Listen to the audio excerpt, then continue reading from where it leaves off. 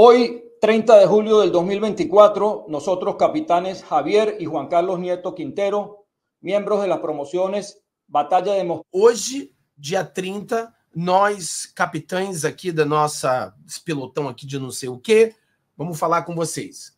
Quintero y Batalla dos Pinos, nos dirigimos a todo el cuerpo de generales y almirantes, oficiales, suboficiales y tropa de las Fuerzas Armadas Nós nos dirigimos a todos os comandantes, né, o alto escalão, do que a gente está falando aqui.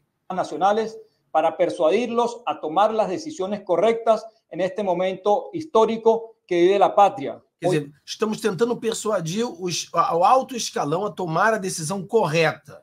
Eu estou traduzindo aqui, pessoal. Eu sei que muitos de vocês entendem um- o espanhol, mas algumas pessoas não. Então vamos traduzir para as pessoas. a punto de entrar en una espiral de violencia y anarquía. Ya hoy Quer dizer, que toma a decisão correta porque o Venezuela está a ponto de entrar numa, numa guerra civil, né, pessoal? Numa revolução.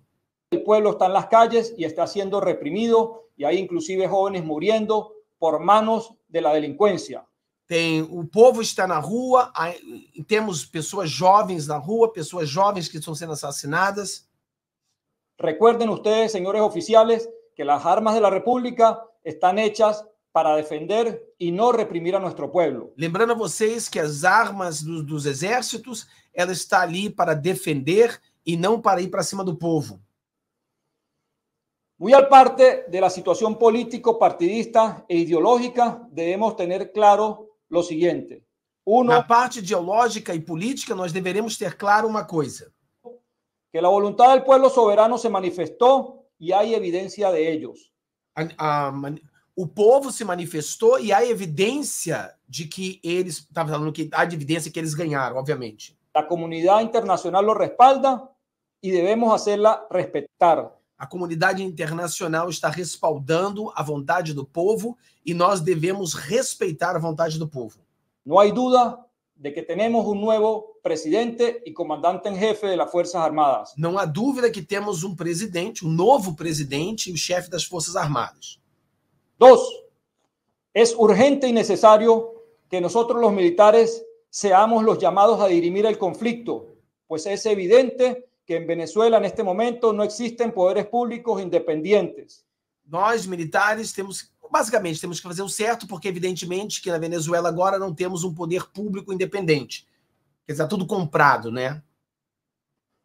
Para sostener la gobernabilidad, sin duda, hay que tomar medidas constitucionales no convencionales e ir a una junta de transición temporal con una junta de gobierno cívico-militar encabezada por el líder civil que escogió el pueblo soberano.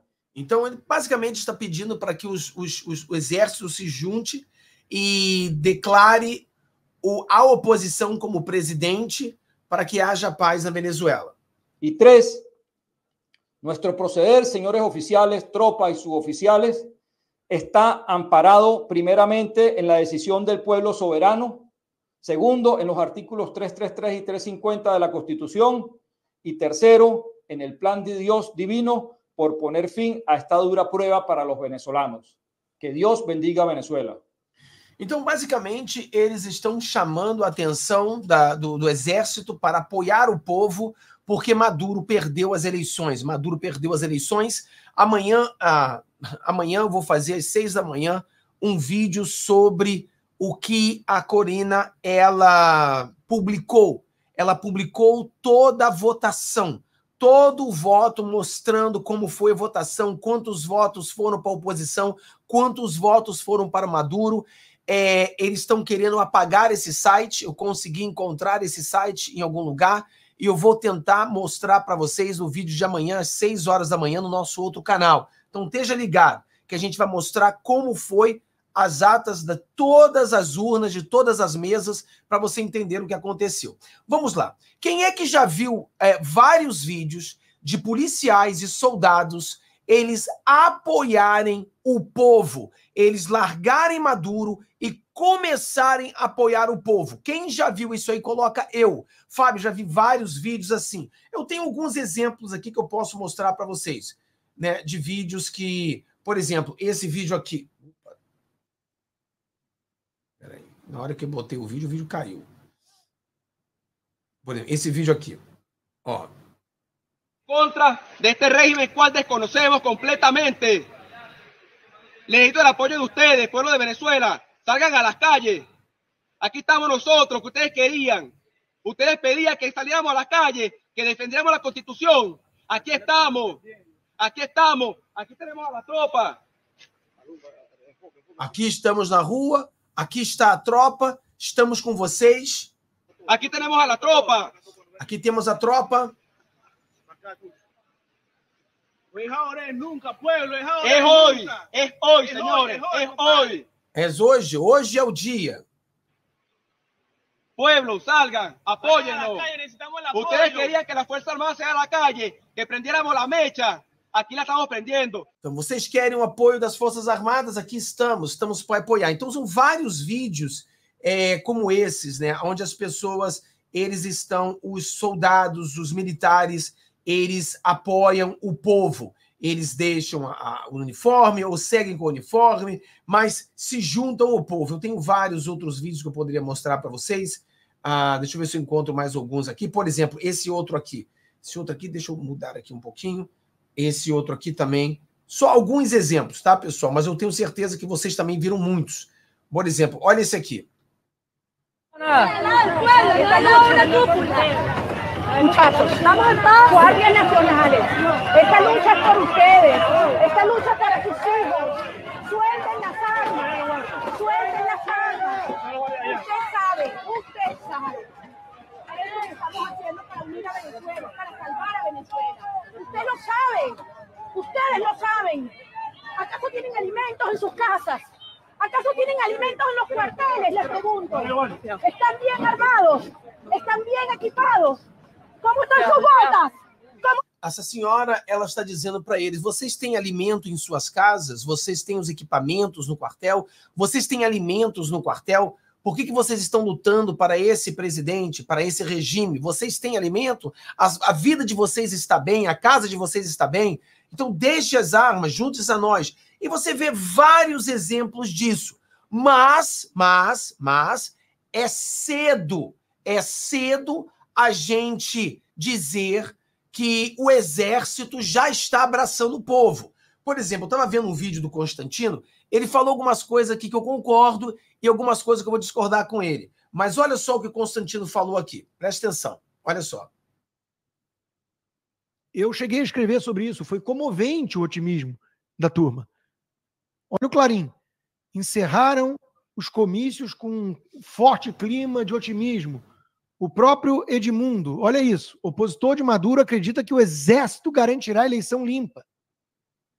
Pô, você tá de sacanagem. Agora tem um ou outro vídeo vazando aí de uma deserção aqui, outra colar, dois militares que debandaram. Vamos torcer. Porra, é o que eu mais quero. Que o Maduro seja empalado em praça pública. É o destino. Então eu concordo com Constantino no seguinte: nós sempre temos o pé no chão. Se você chega no meu canal, você vai ver coerência, verdade e sempre pé no chão. Existem soldados aderindo ao movimento da população? Sim.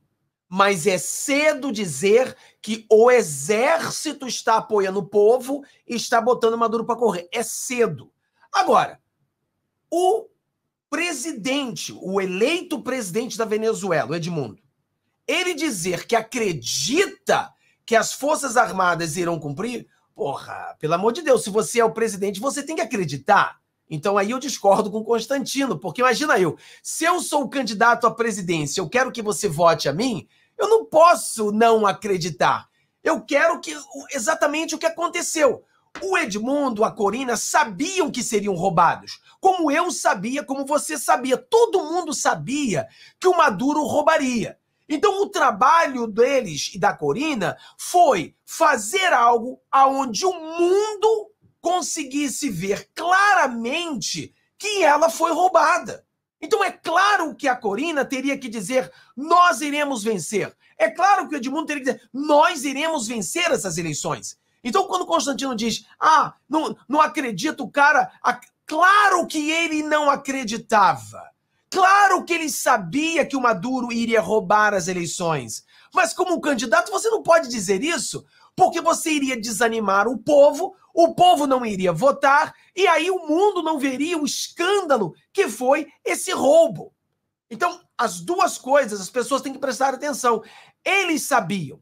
E eles colocaram o Maduro numa sinuca de bico para que o Maduro roubasse as eleições na cara dura. E é isso que aconteceu. O roubo foi na cara dura. E agora o mundo todo viu. Tanto é que as embaixadas já saíram da Venezuela. Os embaixadores já saíram da Venezuela. A Venezuela ficou isolada. Venezuela, nesse momento, está completamente isolada. A ONU já falou que, olha, eles estão vendo as pessoas que estão sendo assassinadas e agredidas. Ninguém aceitou. Antes, só o Lula. Só, só o Lula que acha que isso tudo é normal, porque o cara é tão bandido como ele. Então, bandidos, eles vão achar isso normal, porque ele é tão bandido como ele. Então, isso aí é normal para ele. Mas eu e você, nós temos que ter esperança mas com o pé no chão. Então, nós estamos vendo soldados é, é, apoiando as pessoas? Sim, é fato. Mas é um número de soldados ainda suficiente para que o Maduro caia? Ainda não é. Mas não quer dizer que esse número não pode aumentar. E continuo dizendo: se o povo continuar na rua, se o povo perseverar, nós iremos vencer essa batalha. O comunismo vai ser extinto da América do Sul. Se, se ele. Mas, Fábio, vai ser um sacrifício, vai ter gente que vai morrer. Infelizmente, infelizmente, você vota para um comunista entrar no poder. Mas o voto não tira um comunista do poder. Esse Maduro só sai do poder à base da porrada. Ele só sai do poder à base da violência. Ele não sai através de votos. Ele não sai através de eleição. A eleição foi para mostrar, desmascarar o roubo, a farsa que é o Maduro. Agora tem que ser pressão universal, pressão do mundo inteiro para cima deles. E se o povo estiver na rua e o plano do, do, do Maduro é, é, agredir essas pessoas, fazer um mar de sangue como ele tinha prometido, aí talvez o mundo venha intervir nisso aí. E vai dar merda para o Maduro. Então, é isso que a gente tem que entender. Pé no chão, há possibilidade, vamos torcer para que o Maduro caia, vamos torcer para isso, mas sempre com o pé no chão, observando os cenários do que realmente está acontecendo. Né? A gente não precisa é, ter falsa esperança, mas a gente também não precisa viver no mundo da incredulidade. Vamos viver incrédulos. Não. A gente tem que ter fé, a gente tem que ter esperança. Essas pessoas estão na rua com esperança. Eles estão lutando porque eles acreditam. É, a batalha deles é uma batalha muito difícil, é um povo desarmado, como aquele imbecil daquele Mourão dizendo que o povo armado é bom. Bom o rabo dele. Bom o rabo dele. Porque não é bom. Se esse povo tivesse armado, provavelmente essa palhaçada já teria terminado. Mas o povo é um povo desarmado. Então o que a gente pode fazer? Não podemos fazer muito, né? Não podemos fazer muito. Olha só o que está acontecendo. Isso aqui é muito sério, mas olha a semelhança, né? Vamos ver a semelhança do que está acontecendo. Olha isso aqui. E se lhe vai aplicar o peso da lei. Mínimo passará em la cárcel, mínimo, mínimo, por la medida bajita, 15 años por criminales. De 15 a 30 años, me dice aquí el fiscal general. Y esta vez no va a haber perdón corazón grandote del perdón será para otra época. Ahora no. Y no, estoy seguro que lo van a decir. Estados Unidos lo va a decir, sus aliados lo van a decir, la Unión Europea lo va a decir, Volker lo va a decir, que estos son presos políticos. Ellos van a decir que todos estos son presos políticos porque el señor González Urrutia, mejor conocido como Guaidó 2.0, ya lo dijo hoy asumiendo su responsabilidad en estos eventos. Pessoal, eu vi isso antes. Eu vi isso em algum lugar. Eu vi isso em algum lugar, pessoal. Lembra aquele filme do, do gatinho? Eu vi esse gatinho. Pessoal, eu já vi isso antes. Existem coisas que eu não posso comentar, né? Mas eu já vi isso antes. Já vi isso, já vi esse negócio de prender as pessoas que estão manifestando por 17 anos, por 15 anos, por uma simples manifestação. Eu já vi isso antes. Eu já vi isso antes. É, eu não sei. Eu tô falando para você. A ditadura brasileira tem ensinado os ditadores no mundo. Quando eu vi o Barroso indo para a China, a minha pergunta era: ele está aprendendo ou está ensinando? Porque da maneira que a ditadura brasileira está, eles estão mais para ensinar do que para aprender. O Brasil ele, ele, ele, ele, ele fez um novo nível de ditador, porque é o ditador do judiciário. É algo que a gente nunca viu. Em todos esses países que a gente vê, Venezuela, o ditador é o presidente é, Rússia é o presidente, Nicarágua, o presidente, Coreia do Norte, o presidente, Cuba, o presidente, e o ditador no Brasil está na Suprema Corte. Ou seja, o Brasil inovou a maneira de você ser um ditador. É uma maneira inovada. Então você vê que, por exemplo, essa fala do, do, do, do bandido do Maduro é exatamente a mesma fala dos togados.